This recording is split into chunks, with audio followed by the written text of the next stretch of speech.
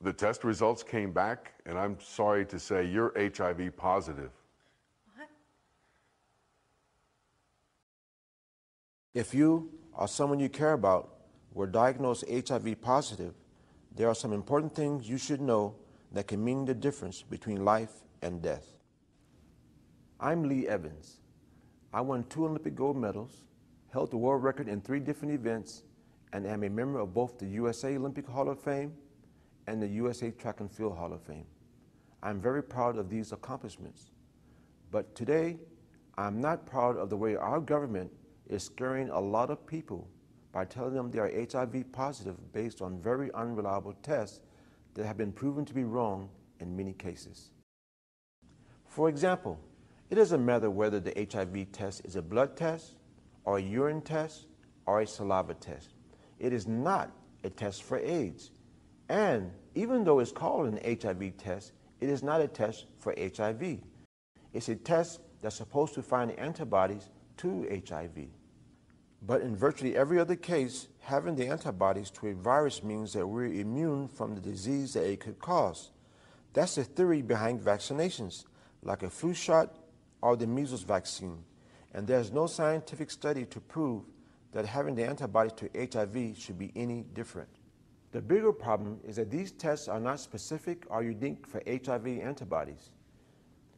And scientific studies show that as many as 90% of the positive test results can be wrong. These are called false positives.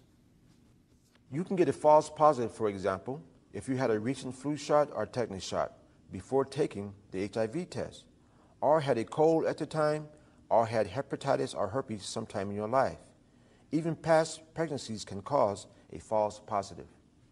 In fact, there are over 50 scientific studies that have found more than 70 conditions that could cause a false positive HIV test result.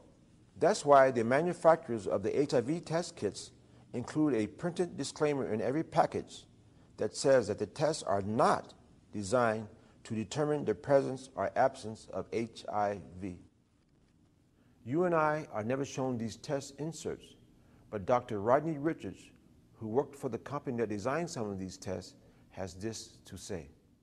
Millions of people take tests that are referred to as HIV tests. However, the idea that there is a laboratory test that can determine whether or not a person is infected with the virus is simply an illusion.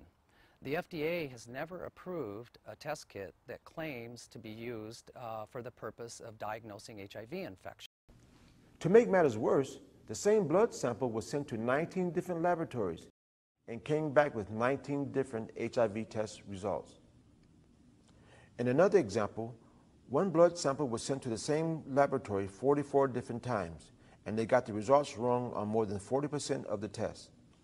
And there are at least 10 different ways to interpret an HIV test depending on where you live in the world, whose standards are used to interpret your test, and what information you give about your life and health history.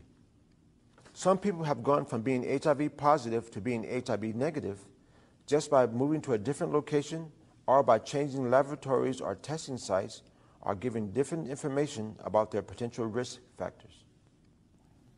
The point is that anyone who has tested HIV positive should be very skeptical because chances are that their test results were wrong. Please ask questions and get a second opinion, especially before deciding to take the HIV drugs many doctors are recommending. Even the AIDS establishment admits that the side effects of these drugs are killing more HIV positives than AIDS itself, mainly from liver failure. And one recent scientific study involving 22,000 patients showed that the drugs prescribed today are even worse than the ones given 10 years ago. So I urge you to visit helpforhiv.com where you'll find a lot of information and answers to your questions along with all the scientific studies that you can read for yourself. I'm Lee Evans, wishing you good health and great hope. If you or someone you care about were diagnosed HIV positive, please visit helpforhiv.com, where you can see for yourself that the test results could easily be wrong. It truly is a matter of life or death.